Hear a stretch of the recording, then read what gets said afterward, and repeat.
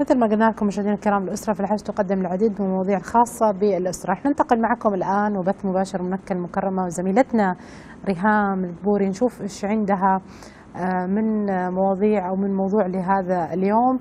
آه، جاهزة معنا ريهام؟ جاهزة. ريهام. يا هلا وسهلا يا ريهام. كيفك يا إيمان؟ الله يسلمك. ما شاء الله نشوف ال- ال- الأفواج من هنا وهناك آه، لمكة المكرمة ما شاء الله.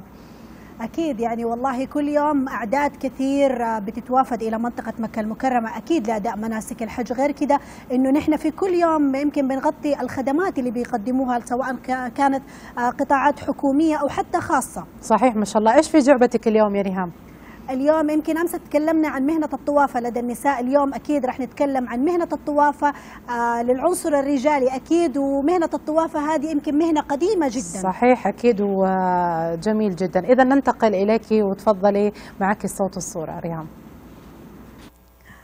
مشاهدينا الكرام أهلا ومرحبا بكم من هنا من مهبط الوحي مكة المكرمة. طبعا أكيد واليوم بإذن الله سنتحدث عن مهنة الطوافة. هذه المهنة أكيد اللي اشتغلوا فيها ابائنا وأجدادنا منذ القدم. رح نتعرف اليوم بإذن الله عن هذه المهنة مع المطوف زهير عبد الحميد سدايو عضو الهيئة العليا لمؤسسة أرباب الطوائف. أستاذ زهير أسعد الله مساءك. ومسائك أهلا وسهلا. شكرا لك. آه، أستاذ زهير في البداية طبعا نبغى نتكلم عن مهنة الطوافة، مهنة نعم. الطوافة يعني مهنة جدا قديمة. صحيح. اشتغلوا فيها ابائنا وأجدادنا، غير كده إنه هي كانت مقتصرة على عائلات معينة في منطقة مكة المكرمة. نعم. آه، مهنة الطوافة طبعا آه، هي مهنة أختص الله بها سبحانه وتعالى أهل مكة المكرمة لخدمة ضيوف الرحمن طبعا. وهي زي ما تفضلت أنت قبل شوية لها تاريخ عريق آه، في في عمق التاريخ من بداية ال- ال- الإسلام. تطورت مهنة الطرافة عبر العصور إلى أن آه، بدأت المملكة العربية السعودية وصدر أول تنظيم لمهنة الطوافة في عهد الملك عبد العزيز طيب الله ثراه ثم تطور هذا التنظيم آه، من آه، من من عهد إلى عهد. آه، بدأت مهنة الطوافة كمهنة فردية. كان مطوف وعائلته يمارسون هذه الخدمة في استقبال الحجاج وفي خدمتهم في مكة المكرمة في المشاعر المقدسة في المدينة المنورة في منافذ الدخول. آه، إلى أن آه، يعني آه، تطورت هذه المهنة وأصبحت آه، في بداية عام 1400 تقريبا أو اثنين تحولت من العمل الفردي إلى العمل الجماعي وأصبحت آه، مؤسسات ذات كيانات كبيرة اجتمع المطوفين حول هذه المؤسسات وأصبح عمل مؤسساتي يقدم لخدمة ضيوف الرحمن. آه، أنشأت في مكة المكرمة حوالي ستة مؤسسات آه، موزعة جغرافيا. آه، وفي المدينة المنورة في المدينة المنورة مؤسسة وفي في جدة آه، في منافذ الدخول آه، في منافذ دخول المملكة العربية السعودية ومكتب للزمازمة كل هؤلاء كل هذه المنظومة تسمى منظومة أرباب الطوائف نعم. آه، كلها منظومة متكاملة تقدم خدمات لضيوف الرحمن في مكة المكرمة مشاعر المقدسة المدينة وفي كل منافذ الدخول في المملكة العربية السعودية نعم. لاستقبال الحجاج وتهيئة نقلهم ومتابعة سكنهم وإعاشتهم وتجهيز مخيمات المشاعر إلى أن يؤدوا إن شاء الله شعيرتهم ب- بيسر أكيد وسهولة بكل يسر وسهولة إن شاء الله آه طبعا أستاذ زهير لو جينا نتكلم عن الخدمات التي تقدم إلى الحجاج نعم. زمان يمكن كانت الخدمات جدا بسيطة كانت نعم. الإمكانيات جدا بسيطة نعم. الآن مع ازدياد أعداد الحجاج وخاصة هذه السنة يمكن زادت آه زاد أعداد الحجاج نعم. بكثير عن زمان يعني صحيح. آه لو جينا نتكلم عن الخدمات اللي بيقدموها مؤسسات الطوافة لهؤلاء الحجاج آه، طبعا زي ما تفضلتي أعداد الحجاج أعداد آه، كبيرة آه، وخاصة في هذا العام. ما شاء الله تبارك الله إلى ال- إلى الأمس الماضي يعني مليون وستمية اللي دخلوا المملكة العربية السعودية. وما زالوا يعني آه، وما قادمين. زال ال- القدوم آه، يعمل. آه، نسأل الله أنه يتقبل منهم أجمعين. آه، طبعا خدمات مؤسسات أرباب الطوائف تبدأ من آه، من من قبل الحج بفترات طويلة. بالترتيب مع مكاتب شؤون الحجاج لتنظيم قدوم الحجاج وترتيب سكنهم ومتابعة كافة التجهيزات آه، إلى أن يبدأ موسم الحج من بداية شهر القعدة طبعا آه، تعمل منافذ الدخول آه، في المملكة العربية السعودية في جدة والمدينة في كل المنافذ البرية والجوية والبحرية. مكتب الوكلاء الموحد يبدأ استقبال الحجاج في المنافذ ويكمل إجراءات استقبالهم. وترحيلهم من المنافذ إلى مكة المكرمة أو المدينة المنورة آه، وترتيب نقل أمتعتهم آه، حتى يصلوا إلى مثلا اللي حيجي على مكة على مكة واللي على المدينة على المدينة. في المدينة المنورة تقوم مؤسسة الأدلاء باستقبالهم وخدمتهم في المدينة المنورة طيلة فترة بقائهم في المدينة المنورة. متابعة أعمال السكن متابعة إعاشتهم آه، متابعة أحوالهم وأوضاعهم الصحية متابعة التوعية التنسيق مع كافة الجهات في المدينة المنورة.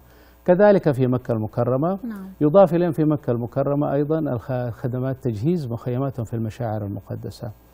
آه، يعني منظومة كبيرة من الأعمال تقوم آه، على خدمة ضيوف الرحمن. مدينة كاملة في المشاعر المقدسة في منى وفي عرفات تنشأ آه، لغرض لأيام معدودة ولغرض استقبال الحجاج. تخيلي آه، يعني آلاف الأعداد من ال- من العاملين ومن المطوفين. ومن كافة أبناء مكة أكيد يعني. كافة نعم. القطاعات تتضافر فعلا آه لتقديم آه يعني كل ما بوسعها لخدمة حجاج صحيح، بيت الله الحرام صحيح، صحيح. لو جينا نتكلم يمكن عن دور المطوفة ودور المطوف في الحج نعم. زمان يمكن كان دور المطوفة أيضا كان دور بسيط جدا صحيح. آه كانت هي تستقبل الحجاج يعني في بيتها وتقوم بعملية الإعاشة الآن اختلف الموضوع صحيح، يعني أصبحت صحيح. الأعداد جدا كبيرة نعم. آه أصبحت إعاشتهم أيضا تأخذ آه، يعني آه نعم. يمكن تحتاج إلى نعم، مكان حيز مخصص كبير. لتهيئة نعم، هذا صحيح، الشيء صحيح. لو نتكلم عن دور المطوف آه، ودور المطوفة قديما وحديثا كيف كان آه، طبعا قديما قبل مؤسسات الط- الطوافة كانت ال- العائلة المكية وعائلة المطوفين جميعهم يجندوا لخدمة ال- الحجاج. آه، بطبيعة ال- الحال آه، كان الحجاج يسكنوا في بيوت ال- المطوفين وفي بيوت أهالي مكة الموجودين. فكان الأهالي في نفس البيت موجودين أو في نفس السكن. وبالتالي آه، العلاقة بينهم وبين الحجاج علاقة يومية أخوية. وعلاقة مستمرة ويعني عائلية. وكل أهل البيت ويعني والرجال الرجال والنساء يعني يساهموا في خدمة هذا الضيف وخاصة النساء كانوا طبعا آه، كل ما نسميه بالآن الخدمات اللوجستية ولا الخدمات ال- المساندة كان كل ال- ال- العوائل في البيوت أمهاتنا وأخواتنا كلهم ساهموا في في هذه الخدمة. ونلاحظ أيضا تبادل الثقافات فيما بينهم ما وتبادل شك. العادات والتقاليد. إبراز التقاليد المكية أيضا وإبراز هم يعني كمان بيعطونا يمكن من عاداتهم وتقاليدهم. صحيح. برز في في حقبة العمل الفردي قبل المؤسسات. آه، بعض السيدات اللي كنا يعملن ب- ب- ب- بنفسهن في في السفر وفي استقبال الحجاج وفي خدمة الحجاج. وبالتالي أجدنا التحدث بلغات الحجاج ومعرفة عادات وتقاليد الحجاج حتى يمكن. أهل نعم. أهل يعني الأكل تبع أهل مكة يعني أيضا صحيح. آه، لو جينا نط- يعني لو جينا نشوف يمكن كله آه، مأخوذ من الدول العربية من مختلف ال- من الثقافات مختلف المناطق فعلا صحيح صحيح صحيح طيب لو جينا نتكلم عن دوركم الفعلي يعني الآن باقي يومين على يوم التروية ويوم, نعم. ويوم عرفة ويوم العيد نعم. آه ما هو عملكم الفعلي أنتم كمؤسسة أرباب الطوافة في هذه الثلاث الأيام؟ آه، مؤسسات أرباب الطوائف الآن يعني زي ما تقولي أكملت ال- المراحل الأولى من خططها التشغيلية والآن إحنا على أبواب المرحلة المهمة آه، في في في الحج وهي مرحلة ترتيب تصعيد الحجاج من مكة المكرمة إلى المشاعر المقدسة وبالتالي كمان متابعة خدماتهم وإقامتهم في المشاعر المقدسة في عرفات وفي منى وفي وفي مزدلفة.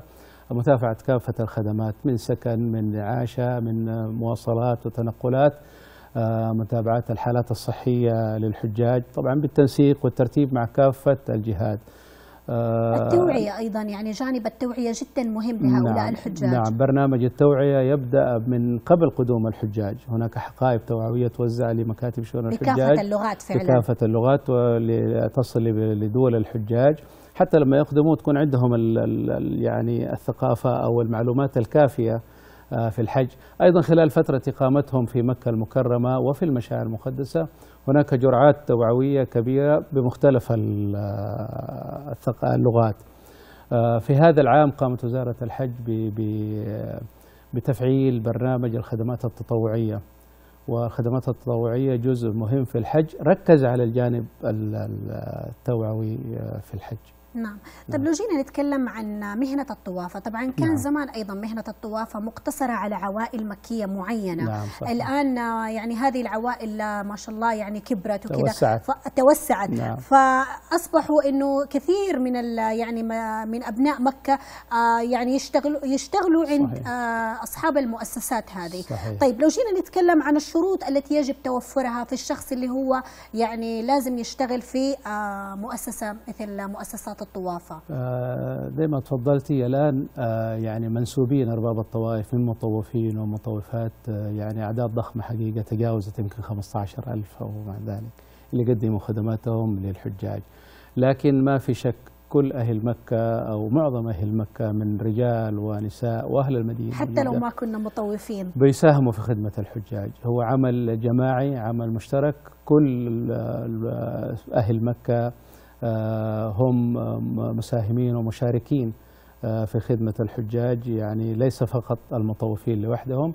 وهذا شرف شرفهم الله سبحانه وتعالى شرف أهل مكة جميعا بهذه الخدمة. فالكل يسعى لنيل هذا الشرف ونيل الأجر والمثوبة من الله سبحانه وتعالى. أصبح هناك يعني آه، تمازج وتكامل آه، من كافة الفئات في مكة المكرمة والمدينة المنورة وحتى في جدة في كل منافذ الدخول. آه، بيشاركوا أعداد كبيرة في في خدمة الحجاج نعم. لم يصبح المطوفين فقط هم من يقدم هذه الخدمة طبعا الأعداد كبيرة لا يستطيع المطوفين وحدهم إنما الجميع هم شركاء في هذه الخدمة أكيد لو جينا نتكلم عن. يعني يمكن مع ازدياد عدد الحجاج ومواكبة رؤية المملكة 2030 نعم. في زيادة هذا العدد هل لدى مؤسسة أرباب الطوائف آه، يعني خطة آه، في زيادة الأعداد هذه مواكبة للرؤية؟ آه، ما في شك طبعا مؤسسات أرباب الطوائف هي تحت آه، إشراف وزارة الحج. نعم. آه، وزارة الحج هي من ال- ال- الجهات الحكومية اللي يعني لها جزء وأهداف في ال- في الرؤية يجب تحقيقها. جزء من هذه الأهداف الرؤية هي تختص بمؤسسات أرباب الطوائف. نعم. فكل مؤسسات أرباب الطوائف وكل القطاعات حقيقة وضعت خططها. وشاركت ال- المؤسسات وشارك المطوفون وأصحاب الخبرة في مجال الطوافة في ورش عمل وندوات في هذا المجال نعم. أستاذ زهير أنا شاكرة جدا حضورك معنا. والله يعطيكم العافية على كل ما الجميع. تقدموه لخد... لخدمة حجاج بيت الله الحرام الجميع شكرا لك مشاهدينا الكرام أنا أشكركم من هنا من استديوهات مكة وعودة إلى استديوهات الرياض والزميلة إيمان الرجب يعطيك العافية ريهام وأكيد ضيفك الكريم يعطيه العافية. وفعلا يعني آه، أعداد كبيرة كما ذكرتي هناك من آه، النساء المطوفات والرجال أيضا يعملن آه، أو يعمل بشكل دائم ومستمر بشكل حثيث لخدمة حجاج بيت الله الحرام. أكيد. يعني شيء مشرف أكيد خدمة حجاج بيت الله الحرام. يعطيك ألف عافية وننتظر. منك كل ما هو جديد. شكرا لك كمان. أكيد الشكر موصول يعني لكم أنتم يعني في تغطية هذه الجهود. يعطيكم ألف عافية. شكرا لك ولطاقم عمل مكة المكرمة شكرا لكم. وبهذا مشاهدينا الكرام أكيد نكون وصلنا لختام حلقتنا. كل يوم مواضيعنا متجددة لكم ولكل أفراد الأسرة لا سيما في هذا الموسم موسم الحج. تقبل الله من الجميع. نلقاكم غدا على خير. بمشيئة الله إلى اللقاء. الحج أشهر معلوم.